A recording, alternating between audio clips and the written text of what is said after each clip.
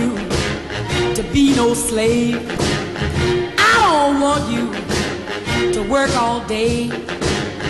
But I want you to be true. And I just want to make love to you.